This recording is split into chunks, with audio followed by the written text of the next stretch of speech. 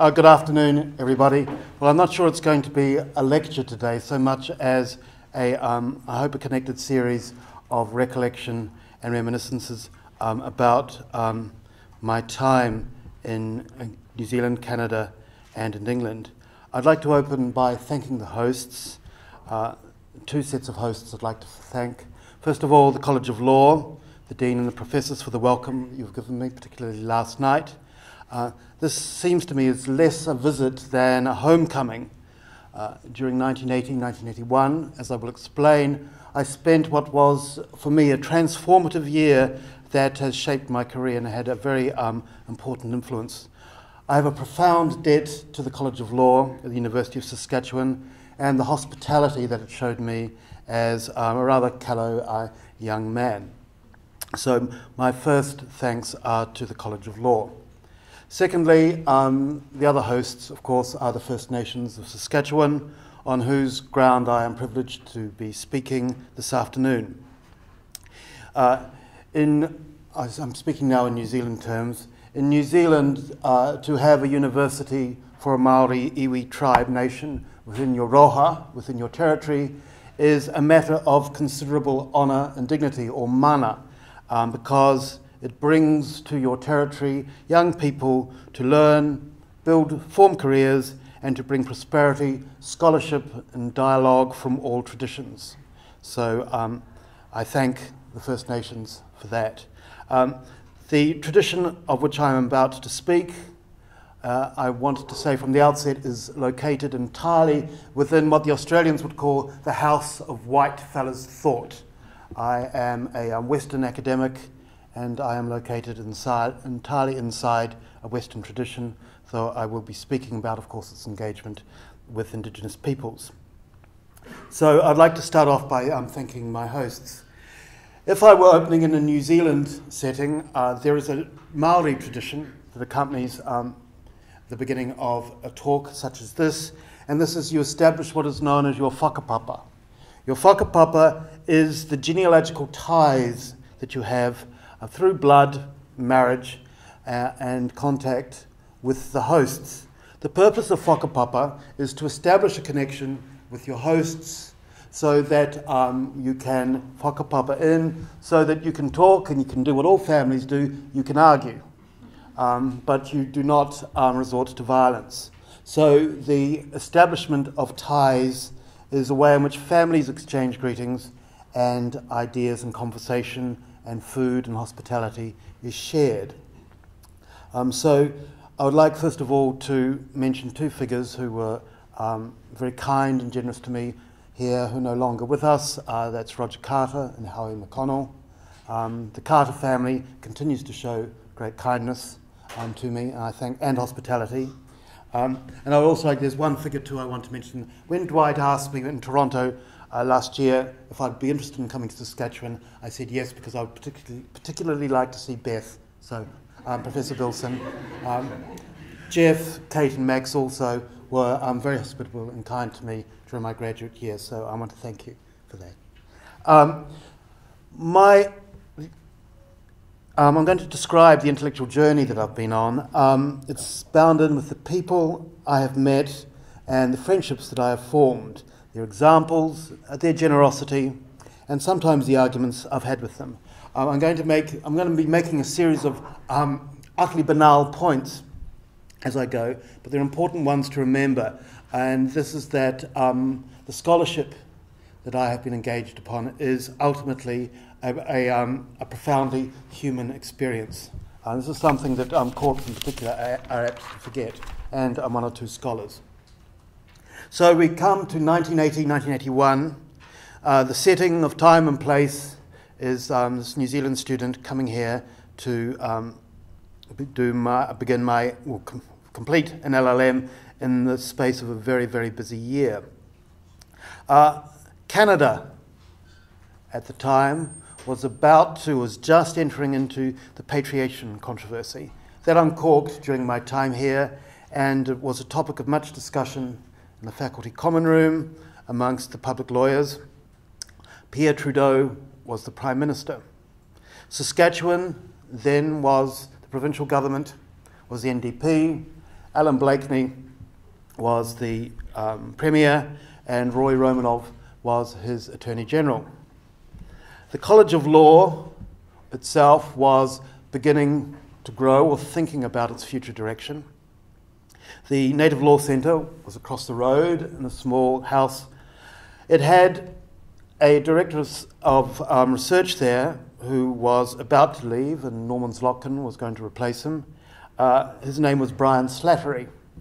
Uh, he had recently completed his PhD in 1979, Hilary term, at Oxford University, uh, and his PhD was beginning to become uh, a publication of much interest. I say publication of much interest because his wife, Marianne, was Director of Publications at the Native Law Centre, and she made sure that uh, the Native Law Centre earned a lot of money through the reproduction of Brian's PhD dissertation.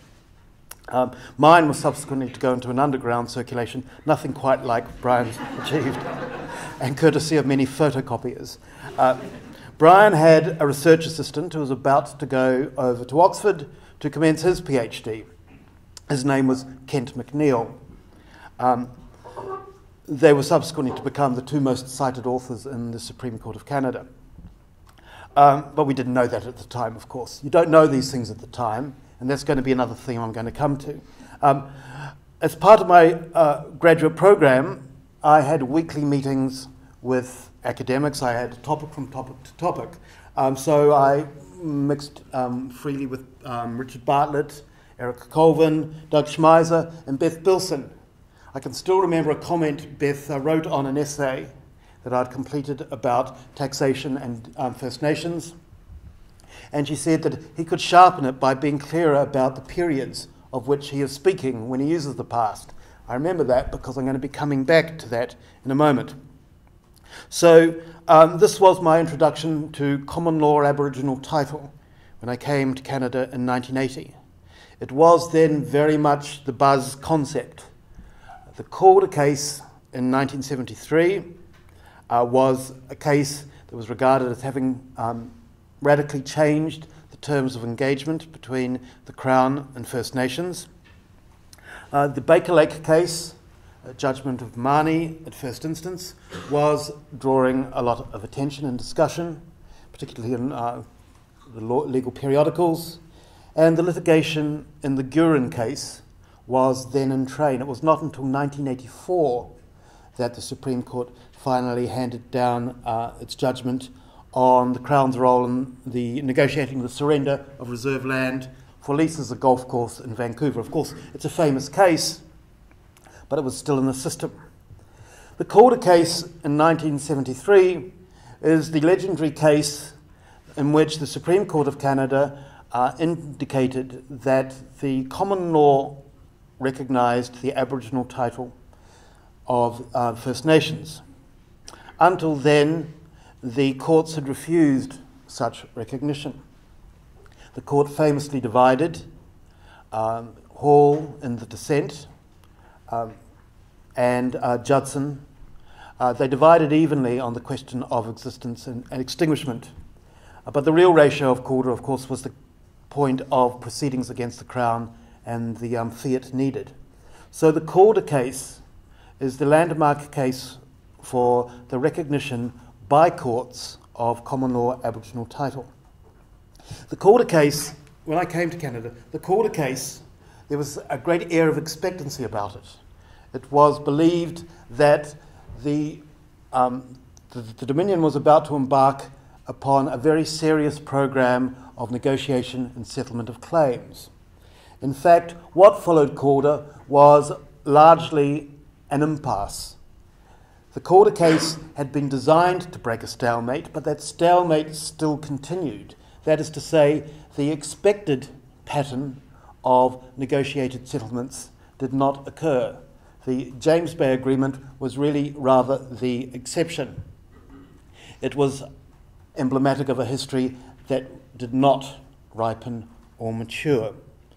So I arrived in Canada also when there was great talk of discussion of statutory land claims processes and mechanisms for this, so that the suggestion, essentially in the Calder case, could be operationalized through statute.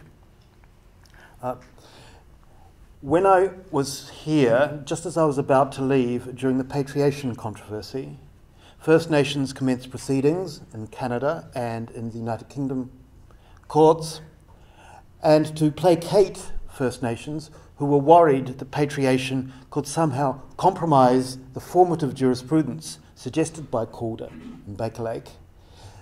Section 35 was inserted by, well, was produced by Prime Minister Trudeau. Uh, essentially, we saw it at the time as a face saver, as a defensive posture to ensure that, well, whatever rights they might have there will not be affected. So, Section 35 was born in this way as to spare the Trudeau government from embarrassment. Trudeau was, of course, a law professor. He was a great believer in um, human rights and human rights instruments and the role of the courts. So, part of the strategy by First Nations at the time had been to embarrass him with the suggestion that his charter uh, was uh, undermining what the courts were doing with regard to recognition of Aboriginal rights. It is worth rem- remembering too that the first 10 years or so of Section 35's life in the Constitution Act 1982 was rather more iconic than real. The Supreme Court only looked at Section 35 once before the Sparrow case in 1991. I think it was a case called Kruger and Manuel. During that time, there were a series of constitutionally mandated conferences and outcomes, uh, Meech Lake, Charlottetown, that did not ripen into a new constitutional settlement, uh, certainly as First Nations had hoped and in many respects had led, been led to believe would be the outcome of those conferences. So the politics, the constitutional politics of the 1980s really were about um, obtaining some constitutional recognition and accommodation, and that that did not occur. Uh, so, First Nations in Canada during the 1980s were put at a junction. It's a junction at which they find themselves constantly and which constantly perplexes them the junction between a political route and a legal route. So I'm going to talk about that and amplify that. In any event, I completed my LLM here in 1981 and uh, went off to Cambridge, where I completed my PhD on the Aboriginal rights of the New Zealand Maori at common law. Uh, in 1983, I wrote two audition pieces that subsequently were published. These were audition pieces because I didn't want to go back to New Zealand and I wanted to stay in England, so I had to get some kind of a job, and I thought I'll get a university job. So I had to produce two papers. Those two papers were subsequently published. One was the transposition of the Aboriginal title principles into a New Zealand setting, called Aboriginal Title in New Zealand Courts. The other sought to apply those principles to an area where I argued there were unextinguished rights around the coastline of the country.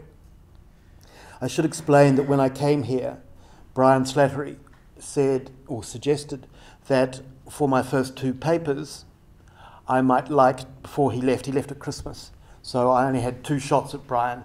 And so he said, Well, why don't you look at these New Zealand cases? I could never make sense of them. See what you can. So he sent me off. The outcome of it a year or so later was a rather jejune essay published by the Native Law Centre. But I looked at the question of Aboriginal title in a New Zealand setting, but informed, of course, by what the Canadian courts had been doing. So I was essentially the first New Zealand scholar to be taking the Canadian principles and applying them in a New Zealand setting.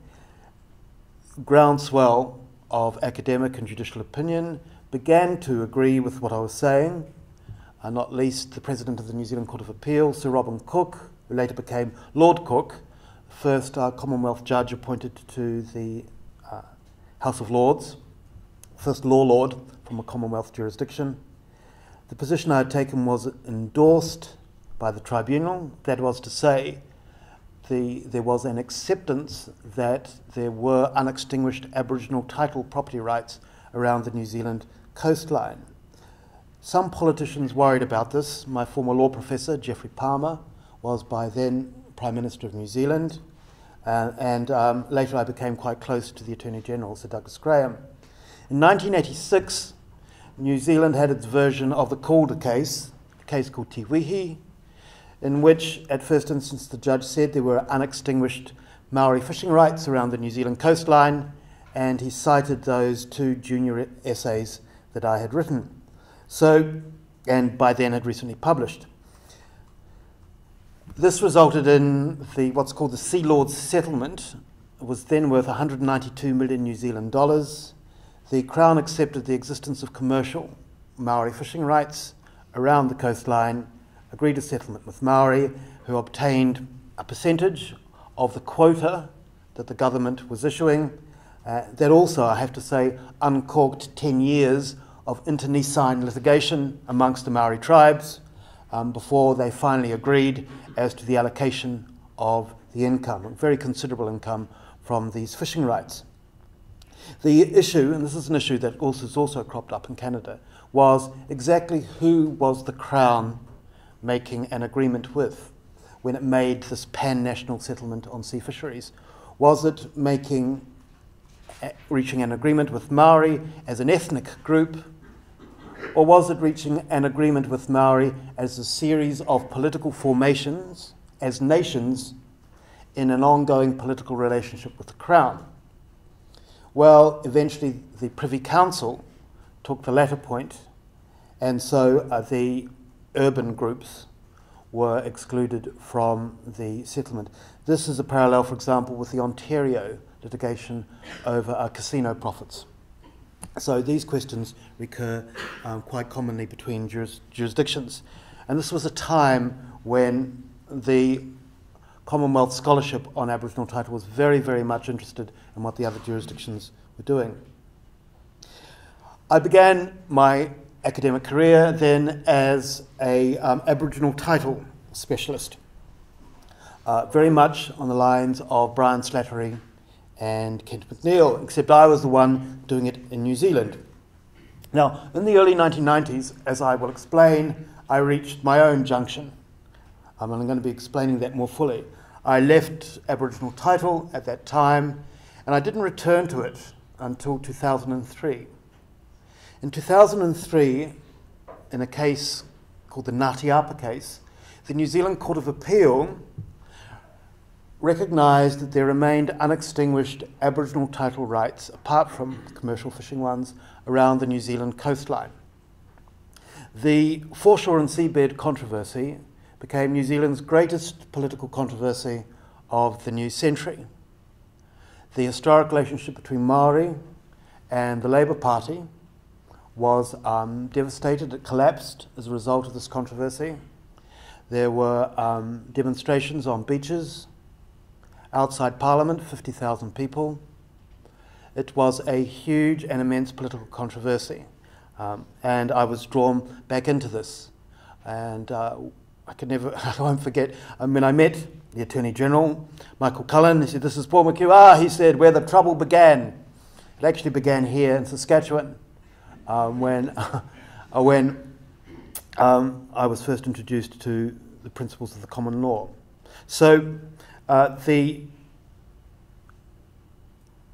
my, my year here had an effect inasmuch as the controversy in New Zealand on the seabed and the foreshore and seabed goes back to um, my sitting with Brian Slattery in the College of Law, discussing these principles and um, essentially um, sitting uh, at his feet and learning from him.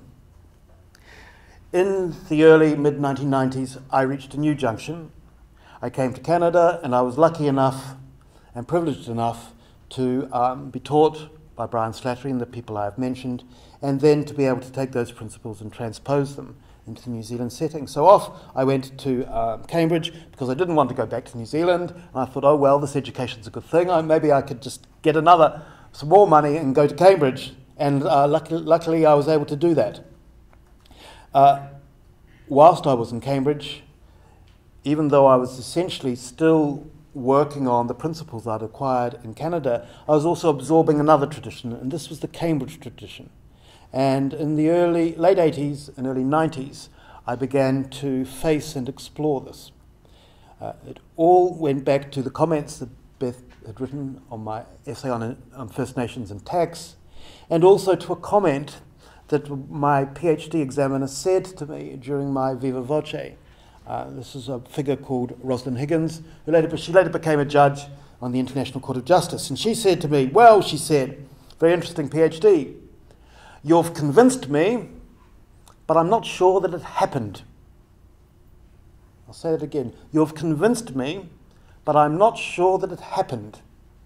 And what does she mean by that? Well, essentially, the, what she was saying was well, it's a good legal argument. Common law Aboriginal title is a really good legal argument, but I'm not sure that officials and figures in the past were thinking that way.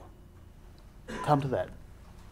So, in Cambridge, because of the collegiate system, you're sitting beside historians and people teaching sciences and medicine and uh, English literature. I became quite friendly with some of the historians there. And gradually I was exposed to uh, what is known as Cambridge contextualism. It is a method of writing the history of political thought associated with two figures, um, J.G.A. Pocock and Quentin Skinner. These are quite big figures in the humanities, and I was drawn into their writings and thinking about uh, the use of the past and how the past inhabits our present.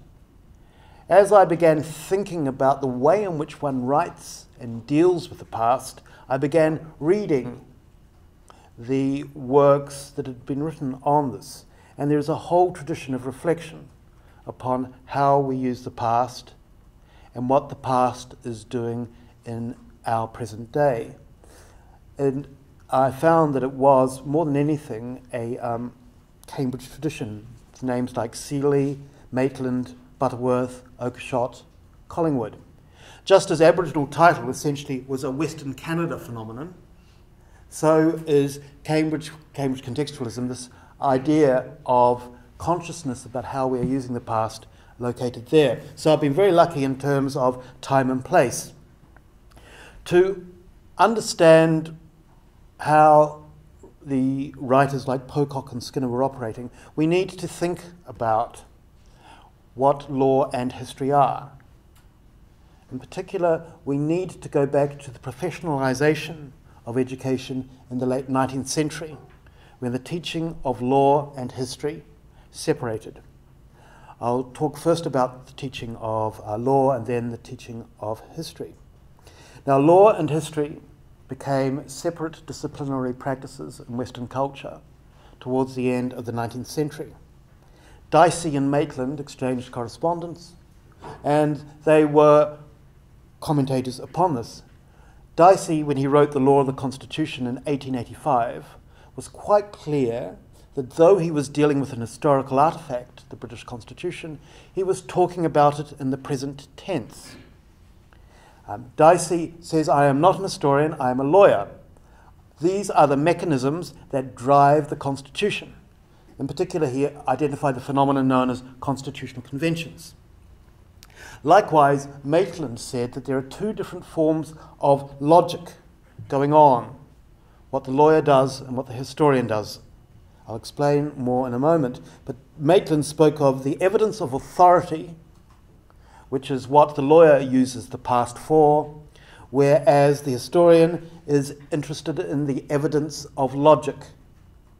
The historian is interested, interested in trying to figure out how people were thinking, their logic in the past. Law as a discipline taught in the universities begins to become established in the mid late 19th century. Uh, the Americans, more than the British, lead this. We see the rise of the university in the late 19th century.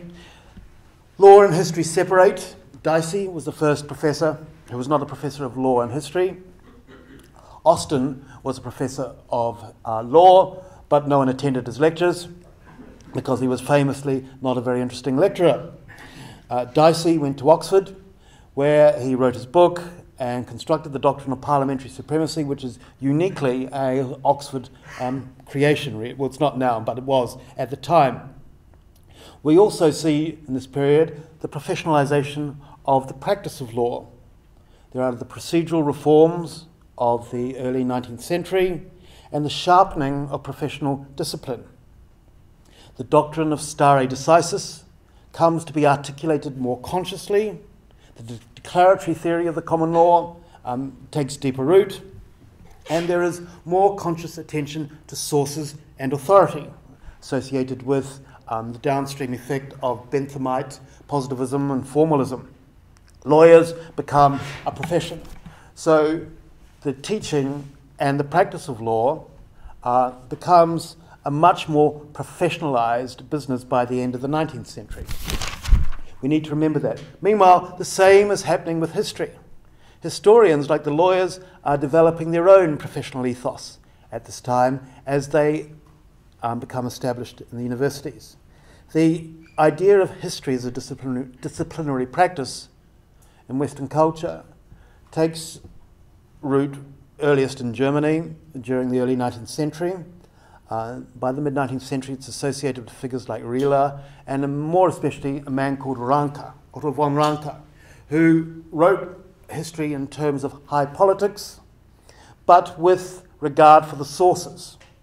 The historian works with primary material, artifacts from the past, so that they can construct an account of how the historical actors were operating, their frame, as it were, of reference. So the historian, Ranke said, uses archives, letters, papers, hieroglyphics, logbooks. All of those are primary sources to which the historian goes. This notion uh, is absorbed by the English, first of all by gentleman historian, like Carlyle, for example, writing on the French Revolution. His biographer, uh, Froude, uh, Froude took the professional obligation of the historian so seriously that he famously wrote a biography from Carlyle's papers that uh, described the state of Carlyle's marriage. It was a great Victorian scandal, but it was symptomatic of how historians were taking themselves seriously as um, professionals. The university historian begins to appear, Freeman, Seeley, Hallam, and into the 20th century. These British historians are writing what become the great Whig histories of Britain. These great Whig histories celebrate the rise of a parliamentary people. It is as though Britain were always destined. There's something about the air, there's something about the soil that was destined to produce these representative institutions. One of the great crescendos in this is Churchill when he was in opposition, he writes his histories, and they are in that mould. The tale, through archival sources, of course, of the rise of a parliamentary people. Two world wars, uh, we find, and two world wars, and of course the phenom- that phenomenon had its German equivalent, had its French equivalent. We find commentators, famously like Walter Benjamin, the French Annales, um, Butterworth, Herbert Butterworth, Butterfield, sorry, in um, England, reflecting upon history, and they come to see that history can be as much a form of propaganda, as of nationalist propaganda, as uh, propaganda itself and, and marching in the streets. So, after the Second World War, there is a much stronger consciousness of the historian's voice, the narrative positioning that the interlocutor takes with the past through using the medium of the, the archives. The, profession, the historian's, the sense of the historian's professional obligation rises. It is the obligation to capture the past contingency and relate, form the frame of possibilities of that era. We imbue the historical actors with the capacity to change their own future. They are invested, as we are now, with the belief that they can form their own destiny and their own progress. There is no sense that they are captured within historical forces against which they have no capacity to act. Records and archives are artifacts from and for their own time for the historian. When a historian approaches archives, papers, dispatches, and looks at them, they realize they are not messages in a bottle to the future, they are of their own time. So, historians over the years have developed this consciousness of an obligation towards the humanity of the past. All things, this is, this, this is a point of utter, utter banality, but it's actually quite important to understand. All things human have historicity. All human enterprise inhabits time and space. Historians saw that their activity of interpretation was a socially constituted activity and that it had acquired a history. So, interpretation, the very act of interpretation, is an exercise with historicity. Interpretation changes.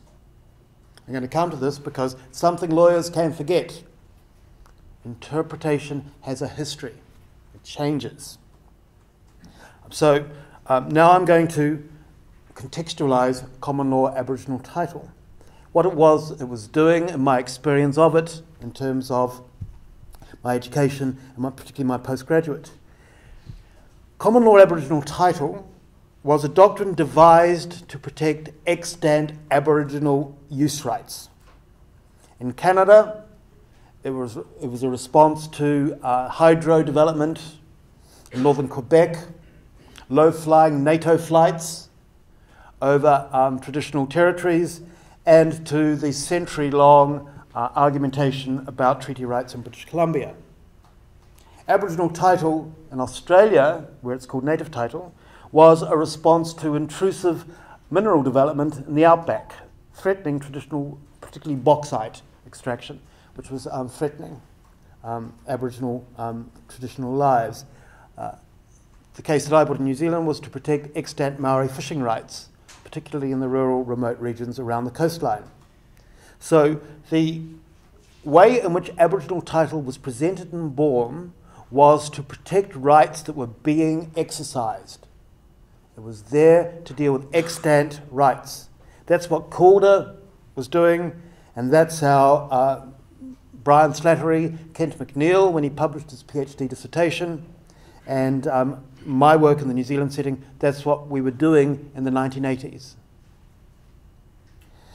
Now, accompanying this construction of a legal argument, there was also a subtle intellectual reconfiguration of that common law Aboriginal title as though it were an historical truth, as though the common law doctrine of Aboriginal title had always been there. The figure initially and most controversially associated with this is an Australian historian called Henry Reynolds. During the 1980s, those of us who were, it was a niche academic area, those of us who were writing on it, Brian, Kent, myself, were lawyers, but Henry Reynolds was an historian. His historical accounts of um, Australia in the colonial days depicted these common law principles as though they were a code, sets of rules formed in the mind of Crown officials that they shunned, ignored, trampled on. He wrote about Aboriginal title in that way in a couple of famous books. Politically, it was very important. It led to the Mabo case, to the recognition of native title, which had the impact in Australia of the Calder case here. So the history wars saw the Prime Minister of Australia, John Howard, decrying people as Henry Reynolds as the black armband view of Australian history Oh, we weren't that bad, really, were we? Um, uh, and a certain reaction against the use of history um, for guilt, in other words, to prod and prompt government into negotiations and settlement. So you can imagine my surprise when I was in Toronto this year uh, in uh, giving evidence in a case when Doug Sanders uh, was in the witness stand as an expert witness and he was questioned about the Calder case. Uh, uh, when uh, Doug was questioned about the Calder case, he just shrugged his shoulders and indicated very nonchalantly, as if to indicate that it was a mere adjustment. I was very struck by that because I thought this is the declaratory theory run rampant Uh, Doug Sanders, Ken Lysyk, Tom Berger in particular, Frank Calder, were very much involved with the formulation of common law Aboriginal title during the early 1970s as a legal argument. And here it seemed Doug was rather disowning um, the impact of that case. This was because there had grown over the years two fallacies the collapse of legal method and historical method into the notion of common law Aboriginal title. There is a Whiggish projection, in other words, there is projection of contemporary questions into the past. People in the past are seen to have been acting according to doctrine that the courts were to articulate a century later. You know, I, I keep saying, and I can't avoid the sarcasm here, the sarcasm is, well, strangely enough, Crown officials in 1854, 1870, and 1923 had no idea what the Supreme Court of Canada would say in 1984. Yet somehow these fallacies have come to interpret uh, certainly an approach to Can- Canada's legal history and uh, the way in which the courts operate, as I'll explain. The two fallacies are the idea that the Crown has always been obliged to respect Aboriginal title as a matter of law. That is to say, that treaties are there because the Crown had to do it. The other fallacy is associated with the Royal Proclamation of 1763, and that is the belief that the Royal Proclamation always obliged the Crown legally to follow a particular procedure as well as to obtain cessions. So these late 20th century ideas that start with Calder are seen as to, to, be enduring historical verities and truths that were always there. This has become a blind spot for um, Canadian legal historians. I'll read you an extract from one written by a very eminent Canadian legal historian uh, who has edited a collection of essays on uh, Richard Risk and who shows great, great, great sensitivity towards the history of political thought, except when it comes to First Nations. He writes In a famous statement in 1969, then Canadian Prime Minister Pierre Trudeau announced that there were no such thing as rights for Aboriginal people distinct from those held by all other Canadians.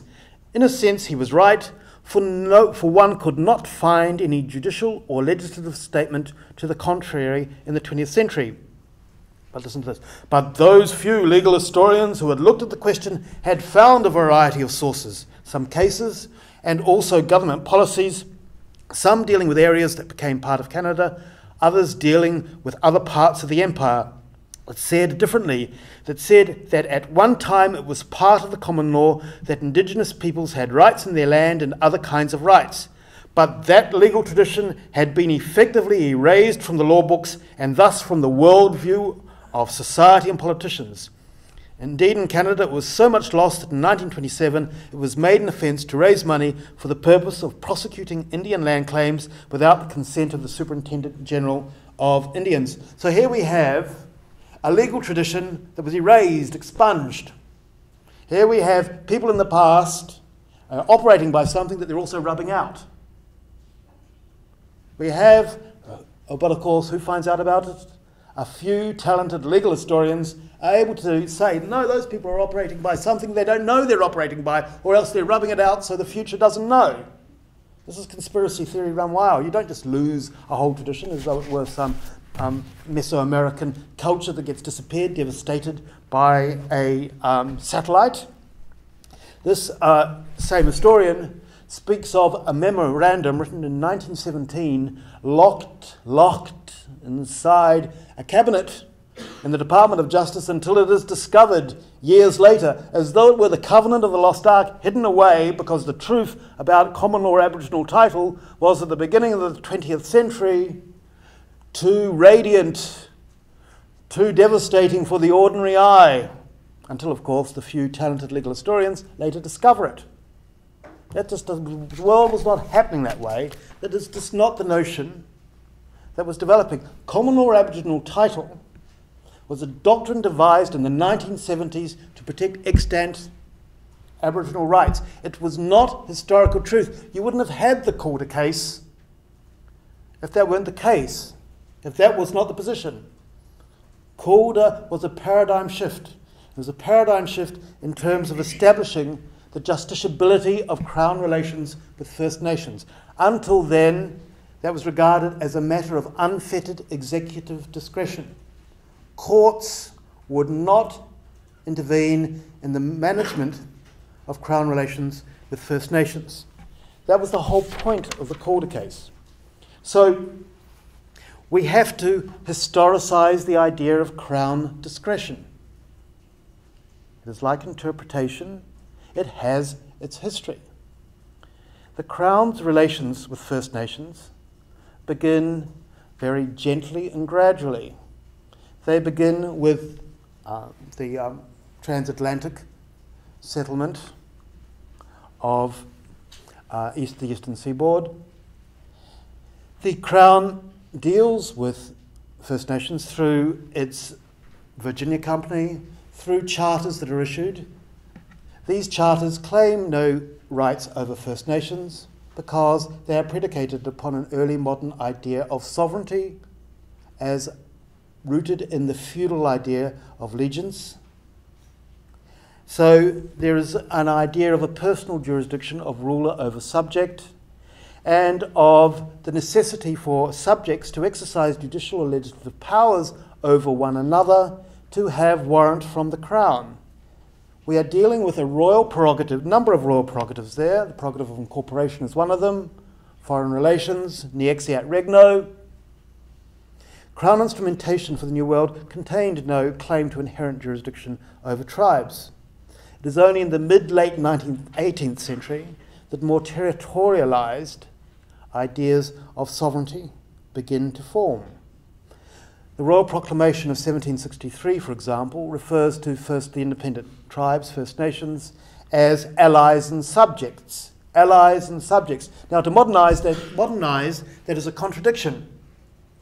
Um, but uh, it's a contradiction because we are using our territorialized absolute notion of crown sovereignty. There is no sense in 1763, oh, we're speaking in a contradiction, but let's do it anyway. They're not thinking like that. It's laterized that say that's a contradiction because that is the doctrine of a later time.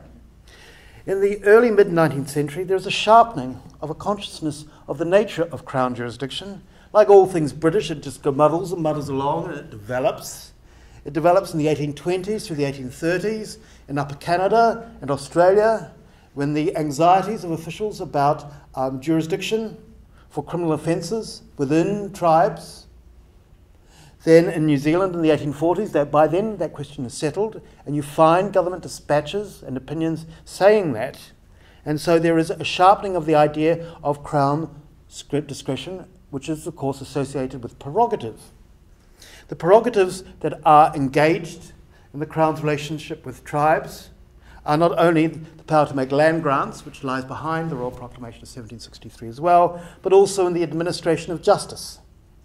So that the Crown is parens patriae and the tribal interest is meant to be represented in actions, for example, of trespass by Aboriginal protectors, as they're known, South Africa, New Zealand, Australia, or by superintendents in um, British North America.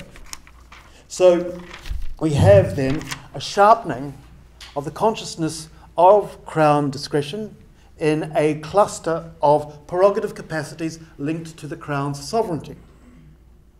A feature of this time is that those prerogatives, though expressly conferred individually, are never cooked or baked into the express conferral of jurisdiction in Aboriginal affairs. That just doesn't happen. So governors exercise powers that are drawn from a variety of prerogative sources, but never, never, never bundled into a specific jurisdiction over Aboriginal peoples, even though it is recognised that the Crown has special duties in that relation. Because by then, those powers are being deployed and operationalised in a way that is very conscious of British obligation over subject peoples, informed by the politics of the time, by abolition during the 1830s, uh, the emergence of humanitarian, evangelical Christian humanitarianism, the foundation of the Aboriginal Protection Society, Church Missionary Society, London Missionary Society, and the notion of a civilizing mission. Now, the notion of that mission itself, it's a human enterprise. It changes, changes, and it changes when Darwin comes along. It changes as a result of the Maori and the Zulu wars of the late 1850s and early 1860s. The mutiny, in 1857. Um, and also, of course, that ongoing 19th century British preoccupation with the cost of empire and the antagonism between the colonial office and the city, and the rise of settler self government following the Durham Report of 1839. There are all kinds of forces shaping and affecting the way in which Crown discretion is marshalled and used in dealing with Indigenous people during this time. Confederation in 1867 sees Section 91.24 giving the Dominion Parliament jurisdiction over um, Indian, Indians and lands reserved for Indians. We then see a zone of Crown discretion becoming a legislative field. Becoming a legislative field, a division of powers requires judicial demarcation. So in the late 19th century, Canada sees what was an area entirely of Crown discretion becoming a legislative field allocated between federal and provincial governments. The allocation uh, becomes necessary because Section 9124 gives the Dominion Parliament jurisdiction, but the same BNA Act gives the provinces, the old provinces, the underlying ownership of the land. So it becomes necessary to determine the effect of a treaty or a cession. This case law, whilst it is engaged in this allocative and resource based exercise about the internal arrangement of the Canadian Crown, federal, provincial, carefully navigates around the executive discretion in the management of relations with First Nations. Those case laws are not the seed plot for Calder. Calder shifts the paradigm altogether. So Calder changes the theme of justiciability. Uh, those early cases, St. Catherine's Milling, the Indian annuities case, are about the allocation uh, of legislative and executive authority. They are not about its exercise. So when we historicise Crown discretion, we are looking at a prerogative power that gradually transforms into 9124, but in which notions of dis- executive discretion remain strong. When we talk of executive discretion, oh, I can see all the public lawyers here um, wincing because we all we know that judicial review is there. Well, of course, judicial review is important. I'm going to come to that in a moment. But when we talk of an unfettered Crown discretion, does not mean we are talking of an undisciplined discretion. The Crown's been sovereign. The Crown, as sovereign, is interested in maintaining consistency and regularity. The Royal Proclamation 1763 is a spectacular example of a disciplining of Crown discretion by means understood at the time. The Royal Proclamation centralises Indian policy, announces the principles upon which it will be based, says that First Nations can expect a particular procedure, settlers cannot enforce a direct purchase in the courts. The Royal Proclamation does not set up a procedure or rights enforceable against the Crown in its own courts. That's what Calder signals the beginning of. No concept of judicial review inhabits the way in which bureaucrats conducted themselves in the 19th century. They're not all running around in the 19th century, oh, we better want to show what we're going to do because 100 years judicial review is coming. That's just not the way that people conduct themselves. So, likewise, the Crown disciplines its procedure. The comprehensive and the specific claims procedures, for example, established um, 81, 82 respectively, discipline the Crown so that in dealing with claims, it can behave in a consistent and regular manner. These processes are extra statutory.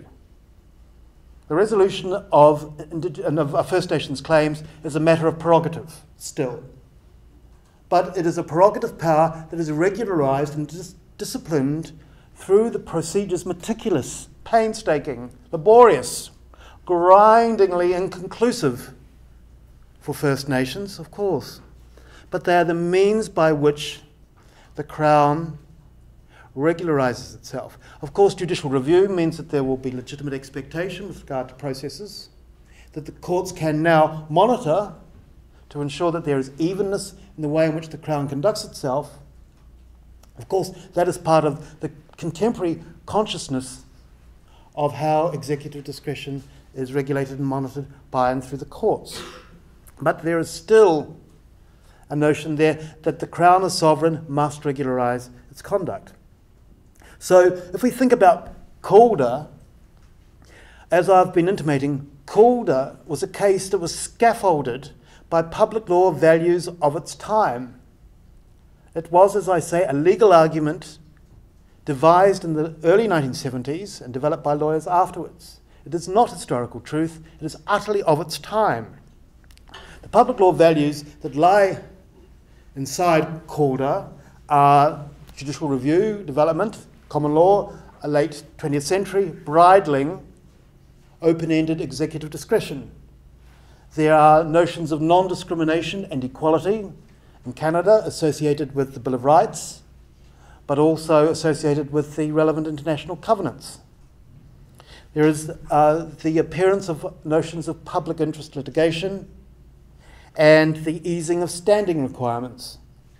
And there is also a much more basic notion of the amenability of the Crown to proceedings, a background of Crown proceedings. There is no notion of Crown proceedings occurring in the 19th century. So we can talk of Calder as very much a product of its own time. We can put it in historical context and we can see the important and profound change that occurs. We are historicising the notion of Crown discretion. So we come to a case, a recent case this year of the Supreme Court of Canada, the Manitoba Métis Federation case. Now, um, I'm going to say, I'm, I'm going to be controversial here. I think this is very sloppy reasoning by the Supreme Court of Canada. They are collapsing what lawyers and historians do. They speak of the honour of the Crown as a constitutional obligation, as though the officials administering the Manitoba Act, sections 30, 31, 31, 32 of the Manitoba Act, should have known what the Guerin case was going to say in 1984. Uh, they jump between past and present. Supreme Court of Canada infers a constitutional obligation, a lawful obligation, to historical actors who have no idea that it is there. Now, instead, I'm not saying that we should not judge the past, but we should be clear that when we judge the past, we are doing it as our own judgment, informed by our values, by what occurred in the past. Of course, if it's a terrible, horrible past, we have to say that. We can say that. But we shouldn't deprive our ancestors of their own agency and their capacity to have acted differently or to have changed their world. Now, I'm going to mention here my own role as a legal historian in the Ross River litigation. Uh, the Ross River concerns the Order in Council of 1870 by which Rupert's Land and the Northwest Territory um, came into the um, Canadian Confederation. The Order in Council referentially incorporates the joint address of um, both houses of the Canadian, of Canadian Parliament, asking that the Crown observes equity and good faith in its dealings with First Nations. Now, I was asked to explain how the notion of equity and good faith would have been understood in the late 19th century. And the answer is it would have been understood as an unfettered, open ended Crown discretion a disciplined one, a monitored one, a one that had reporting back through appropriate channels, including accountability, responsibility to Parliament, newly invested in the Dominion, because it was no longer an imperial um, matter. Counsel, cross examining me, regarded those words, equity and good faith, as capable of a stable and enduring interpretation, as though those words had always and only ever meant one thing. He was convinced that the use of the word equity in 1870 meant that there was the fiduciary duty. There it was, staring him in the face. And of course, you look at the historical material, there's no, that the F word is just, just isn't there. Uh, it was, it was Guerin that start, started that kind of talk, importantly, but it's not there 100 years earlier. Meaning has changed. And so here I was put between the two spheres of my career, between, on the one hand, my early days as a lawyer and my later days as an historian. My role there was a court expert and historian. I could not tell counsel to do his job properly and to explain to the court that interpretation had changed. It had changed. Why? How? Because there was the Constitution Act 1982, Section 35, which could allow the court to take a different interpretation from that which was being taken in 1870. Contrary to how Tom Berger was depicting me, I'm not an originalist. But if you're going to change interpretation, it is a product of your agency, not a deprivation of agency of the agency of historical actors. Uh, the Supreme Court of Canada in the Manitoba Métis case is doing likewise. It is sloppy on disciplinary strictures and roles. They collapse historical and present agency, and um, they need much sharper awareness of um, the distinction between legal and historical thinking. Uh, because if you don't do this, then uh, you reduce the past to a crude Whiggish typology of good guys, bad guys, of um, a caricature in which the crown becomes a pantomime villain, twirling its moustache, conspiring against First Nations, and you turn First Nations ancestors into dupes. People who are maidens tied to a railway track because there's the train coming and the dastardly crown laughing. It just isn't like that. The past is a complex, contingent place, and we should respect our ancestors just as much as we hope that those who come after us will respect the contingency with which we try and manage our own very difficult and turbulent times. I want to close with a quote from, from Maitland. Maitland said, and I will end on this the only direct utility of legal history lies in the lesson that each generation has an enormous power of shaping its own law. I don't think that the study of legal history would make men fatalists. I doubt that it would make them conservatives. I am sure that it would free them from superstitions and teach them that they have free hands. Thank you.